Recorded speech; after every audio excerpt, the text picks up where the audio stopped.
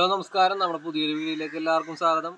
നമ്മുടെ ഇന്നത്തെ വീഡിയോ എന്ന് വെച്ചിട്ടുണ്ടെങ്കിൽ ശീതകാല പച്ചക്കറികളായ ക്യാബേജ് അതുപോലെ തന്നെ കോളിഫ്ലവർ ഒക്കെ കൃഷി ചെയ്യുന്ന ഒരു വീഡിയോ ആണ് അപ്പോൾ ഈ ഒക്ടോബർ അവസാനം അല്ലെങ്കിൽ നവംബർ ആദ്യം ഒക്കെയാണ് നമ്മൾ ഇത് കൃഷി ചെയ്യുന്ന സമയം. ഇത് കൂടുതലായിട്ടും നല്ല തണുപ്പുള്ള പ്രദേശങ്ങളായ മൂന്നാർ പോലെയുള്ള സ്ഥലങ്ങളിലാണ് ഇത് കൃഷി ചെയ്ത് പോരുന്നത്. പക്ഷേ ഈ കുറച്ച് ആളുകളായിട്ട് കാലങ്ങളായിട്ട് നമ്മുടെ നാടുകളിലും ഇത് നല്ല രീതിയിൽ തന്നെ കൃഷി ചെയ്ത് പോരുന്നുണ്ട്. അപ്പോൾ നമ്മൾ ഇത് കൃഷി ചെയ്യുന്ന വീഡിയോയും അതുപോലെ തന്നെ ഇത് നടുമ്പോൾ ഒന്ന് രണ്ട് കാര്യങ്ങൾ നമ്മൾ ശ്രദ്ധിച്ചിട്ടുണ്ടെങ്കിൽ നമുക്കിത് നല്ല രീതിയിലുള്ള വിളവ് നമ്മുടെ നാടുകളിലും കിട്ടും. അപ്പോൾ നമുക്കത് എന്റെ കൃഷി രീതി കാണാം. അപ്പോൾ അതിന് മുമ്പായിട്ട് ഒരു കാര്യം പറഞ്ഞോട്ടെ. നമ്മളെ ചാനൽ ആദ്യമായി കാണുന്നവരാണെന്നുണ്ടെങ്കിൽ ചാനലൊന്ന് സബ്സ്ക്രൈബ് ചെയ്യുക. കൂടാതെ വീഡിയോ ഇഷ്ടമായ ലൈക്ക് ചെയ്യുക. ഒന്ന് നമ്മളെ സപ്പോർട്ട് ചെയ്യുക. അപ്പോൾ നമുക്ക് വീഡിയോയിലേക്ക് പോകാം നമ്മ ക്യാബേജ് ആയിക്കോട്ടെ കോളിഫ്ലവർ ആയിക്കോട്ടെ നമ്മ ഇത് കൃഷി ചെയ്യാൻ ഉപയോഗിക്കുന്നത് ഇതിന്റെ വിത്താണ്. വിത്ത് എന്ന് വെച്ച് കഴിഞ്ഞാൽ ഏകദേശം ഒരു കടുകിന്റെ വലിപ്പം മാത്രം അത്രേ ഉള്ളൂ അതിന്റെ വിത്തിന്റെ വലിപ്പം. അപ്പോൾ നമ്മിത് വിത്ത് പാകി മുളപ്പിച്ച തൈകൾ നമ്മുടെ കയ്യിലുണ്ട്. ഇതുണ്ടല്ലേ എന്ന് വെച്ച് കഴിഞ്ഞാൽ വിത്ത് പാകി മുളപ്പിച്ച നമ്മുടെ കോളിഫ്ലവറിന്റെയും ക്യാബേജിന്റെയൊക്കെ തൈകളാണ്. നമ്മളെ നോട്ടത്തിൽ ഏകദേശം ഇതിന്റെ രണ്ടിന്റെയും എല്ലാ ഒരേപോലെ ഇരിക്കുന്നുണ്ടെങ്കിലും ചെറിയൊരു വ്യത്യാസം മാത്രമാണ് ഇത് നമുക്ക് തിരിച്ചറിയാൻ കഴിയുന്നത്. ഇത് നമ്മുടെ കോളിഫ്ലവറിന്റെ ചെടിയാണ്. കോളിഫ്ലവറിന്റെ ചെടിയാണ് ഏകദേശം കുറച്ച് നീട്ടം വന്ന ടൈപ്പ് ലീഫാണ് ഈ കോളിഫ്ലവറിന്റെ ചെടി.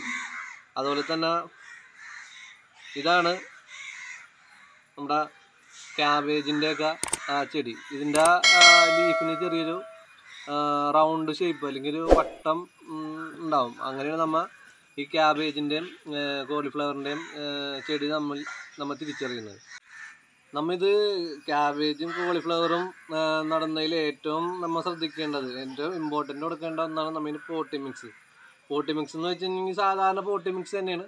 പക്ഷേ നമുക്ക് അതിൽ ചകിരിച്ചോറിന്റെ അളവ് നമ്മൾ കൂട്ടണം. നാലിലൊരു രണ്ട് ഭാഗത്തോളം നമ്മ ഏ, ചകിരിച്ചോറ് അതുപോലെ തന്നെ ഇത് നമ്മുടെ സാധാരണ ചാണകപ്പൊടി ആട്ടുംകാഷ്ടം ആട്ടുംകാഷ്ടം അതുപോലെ തന്നെ മണ്ണ്. ഇതാണ് നമ്മൾ ഇതിന്റെ പോട്ടി മിക്സ് എന്ന് വെച്ച് കഴിഞ്ഞാൽ നല്ല നീർവാഴ്ചയുള്ള അല്ലെങ്കിൽ നല്ല വെള്ളം നല്ല രീതിയിൽ തങ്ങി നിൽക്കാത്ത രീതിയിലുള്ള പോട്ടി മിക്സ് ആയിരിക്കണം. അല്ലെങ്കിൽ നമ്മുടെ ചെടികൾ നട്ട് അല്ലെങ്കിൽ പെട്ടെന്ന് അഴുകി പോകാനും അതുപോലെ തന്നെ നമ്മുടെ ചെടികൾ പെട്ടെന്ന് ചീഞ്ഞു പോകാനും സാധ്യതയുണ്ട്. അപ്പോൾ നമുക്കിത് പോട്ടി മിക്സ് തയ്യാറായിട്ട് ഗ്രോ ബാഗ് അങ്ങനെ നിറക്കാമെന്ന് നമുക്ക് കാണാം.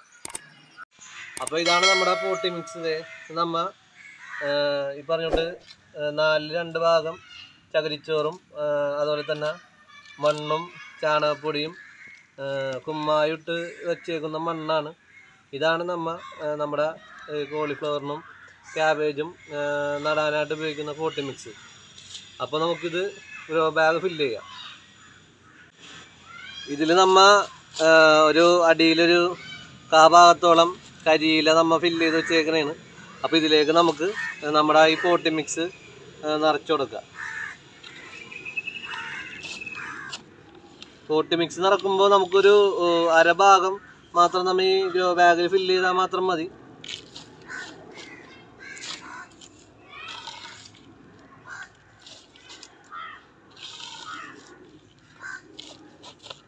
ഏകദേശം ഈ ഒരു ലെവലിൽ മാത്രം നമുക്ക് ഗ്രോ ബാഗിൽ നമുക്ക് പോട്ടി മിക്സ് ഫില്ല് ചെയ്ത് കൊടുത്താൽ മാത്രം മതി. അപ്പോൾ നമുക്ക് ഇതിന്റെ ഇതിലേക്ക് നമ്മുടെ കോളിഫ്ലവറിന്റെയും ക്യാബേജിന്റെയൊക്കെ നമ്മുടെ ഗ്രോ ബാഗിലേക്ക് നട്ടു കൊടുക്കാം. അതിനു മുമ്പായിട്ട് നമ്മുടെ ഈ ഗ്രോ ബാഗിന്റെ ഈ സൈഡൊന്ന് വശങ്ങൾ മടക്കി വെക്കേണ്ടതുണ്ട്. അപ്പോൾ നമുക്ക് ഇതിന്റെ ഗ്രോ ബാഗിന്റെ സൈഡ് ഒന്ന് ഇതോട്ട് പയ്യൊന്ന് മടക്കി വെച്ചിട്ട് കാരണം ഇതിപ്പോൾ ഒരു നമ്മ ഒരു അരഭാഗം മാത്രം ഇതിലേക്ക് പോട്ടി മിക്സ് നിറച്ചിട്ടുള്ളൂ. അപ്പോൾ നമ്മൾ ഈ കോളിഫ്ലവറിന്റെയും ക്യാബേജിന്റെയും തൈകൾ വലുതാവുന്നതനുസരിച്ച് നമുക്ക് മണ്ണ് ഫില്ല് ചെയ്തെടുക്കേണ്ടതുണ്ട് അപ്പോൾ അതുകൊണ്ട് നമുക്ക് ബാഗ് ഒന്ന് പയ്യെ ഇതൊട്ടൊന്ന് മടക്കി വെക്കണം. എന്നിട്ട് നമുക്ക് ഇതിലേക്ക് നമ്മുടെ തൈകളൊന്ന് നട്ടു കൊടുക്കാം.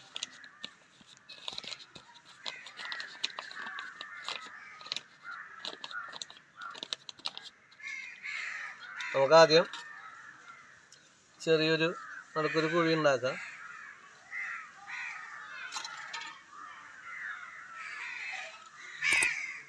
നമ്മളിതിൽ നിന്ന് തൈ വേര് പൊട്ടാത്ത രീതിയിലെടുത്ത് അതിൽ നല്ല രീതിയിലുള്ള നമുക്ക് ആരോഗ്യമുള്ള നമ്മുടെ തൈകളാണ്. അപ്പോൾ ഏകദേശം നമ്മൾ നടുമ്പ ഈ ഒരു അടിയില ലീഫ് വരെ നമ്മൾ മണ്ണിലേക്ക് ഇറങ്ങിയിരിക്കുന്ന രീതിയിൽ വേണം നമ്മ ഇത് നട്ടു കൊടുക്കാനായിട്ട്. അപ്പോൾ നമുക്കിത് നട്ടു കൊടുക്കാം. നോക്കിയിട്ട് ഏകദേശം നമ്മുടെ ഈ അടിയിലെ ലീഫ് വരെ കിട്ടിയിരിക്കുന്ന രീതിയിൽ നമുക്ക് നട്ടു കൊടുത്തിട്ട് ഒന്ന് പയ്യൊന്ന് ഉറപ്പിച്ച് കൊടുക്കുക.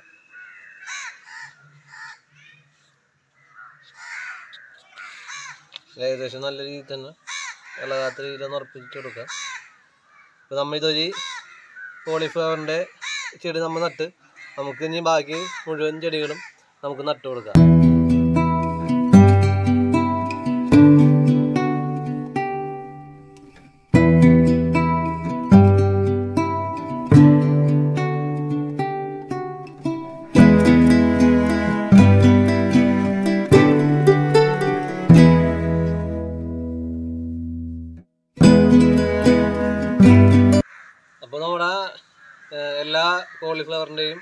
ക്യാബേജിന്റെ ഒക്കെ വിത്ത് നമ്മ പായി കഴിഞ്ഞു അപ്പോൾ നമുക്കിതൊന്ന് നനച്ചു കൊടുക്കാം. നനച്ചു കൊടുക്കുന്ന നമ്മൾ ഇതിലേക്ക് ഇത് സ്യൂഡോമോണസ് ആണ്.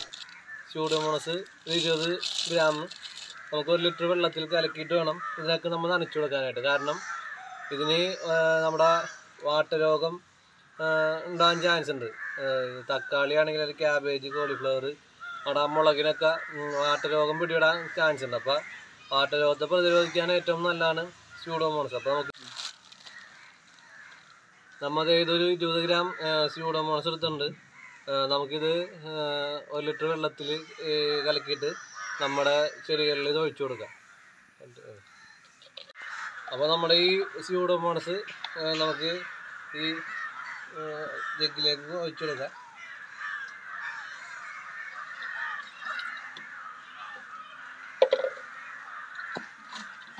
അതിനുശേഷം നമ്മുടെ ചെടികളിലേക്ക് ഒന്ന് ഒഴിച്ചു ഏഹ്, നട്ട് ഏകദേശം നമ്മളിന്റെ മണ്ണിന്റെ അനുസരിച്ച് വേണം നമ്മൾ ഒഴിച്ചു കൊടുക്കാനായിട്ട് നമ്മുടെ അധികം നല്ല ലൂസുള്ള മണ്ണാണെങ്കിൽ നമ്മൾ ഡെയിലി നന വേണം. അല്ലാന്നുണ്ടെങ്കിൽ നമ്മൾ ഇതിലെ നനവ് പരിശോധിച്ചാൽ മാത്രം നമ്മൾ ഡെയിലി നനച്ചു കൊടുത്താൽ മതി. അല്ലെങ്കിൽ നല്ല നനവൊക്കെ നിൽക്കുന്ന മണ്ണാണെങ്കിൽ നമ്മൊരു രണ്ട് ദിവസമൊക്കെ കൂടി നമുക്ക് നമ്മുടെ കോളിഫ്ലവറിന്റെയും ക്യാബേജിന്റെയൊക്കെ ചെടി നനച്ചു കൊടുത്താൽ മതി. അല്ലെങ്കിൽ ഓവർ വാട്ടറിങ് ആയി കഴിഞ്ഞിട്ടുണ്ടെങ്കിൽ നമ്മുടെ ചെടികൾ ചീഞ്ഞു പോകാൻ ചാൻസ് ഉണ്ട്.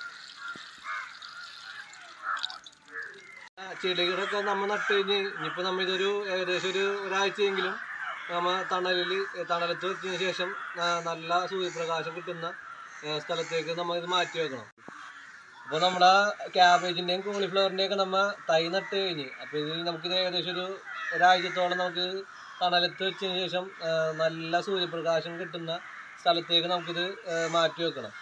നമുക്കിതെന്ന് വെച്ച് കഴിഞ്ഞാൽ പത്ത് ദിവസം വരെ നമുക്കിനി ആ, യാതൊരുവിധ വളങ്ങളും നമ്മ കൊടുക്കണ്ട. പത്ത് ദിവസത്തിന് ശേഷം നമ്മ കടലപ്പിണ്ണാക്ക് പുളിപ്പിച്ചതോ അത് കഴിഞ്ഞിട്ട് നമുക്ക് കുറച്ച് ഒരു രണ്ടാമത്തെ ആഴ്ച ആ, നമുക്കിതിലേക്ക് ആ, എല്ലുപൊടി തുടങ്ങിയ വളങ്ങളൊക്കെ നമുക്ക് ഇതിൽ ഇട്ട് കൊടുക്കാം. അപ്പോൾ നമ്മുടെ ചെടികളെല്ലാവരും നല്ല രീതിയിൽ നല്ല ഉഷാറായിട്ട് വരും. പിന്നെ നമുക്ക് ഇതിൽ ഉണ്ടാകുന്ന ചിലപ്പോൾ പുഴുക്കളുടെ ആക്രമണം ചിലപ്പോൾ ഇതിൽ ഉണ്ടെങ്കിൽ നമുക്ക് അതിൽ വേപ്പെണ്ണ എമർഷൻ മിശ്രിതം നമുക്ക് ഇതിൽ തളിച്ചു കൊടുത്തിട്ടുണ്ടെങ്കിൽ നമ്മുടെ ആ ഇതിലുണ്ടാകുന്ന പുഴുക്കേടും കാര്യങ്ങളൊക്കെ മാറിപ്പോകുന്നതാണ്. അപ്പോൾ നമ്മുടെ ഇന്നത്തെ ഈ കോളിഫ്ലവർ ക്യാബേജിന്റെ കൃഷിയുടെ വീഡിയോ നിങ്ങൾക്ക് ഇഷ്ടമായെന്ന് വിചാരിക്കുന്നു. അപ്പോൾ നമ്മുടെ വീഡിയോ ഇഷ്ടമായി ഒരിക്കൽ കൂടി നമ്മുടെ ചാനലൊന്ന് സബ്സ്ക്രൈബ് ചെയ്യുക. വീഡിയോ ഇഷ്ടപ്പെട്ടാൽ ലൈക്ക് ചെയ്യുക. അപ്പോൾ പുതിയൊരു വീഡിയോയുമായി കാണുന്നവരെ എല്ലാവർക്കും നന്ദി നമസ്കാരം.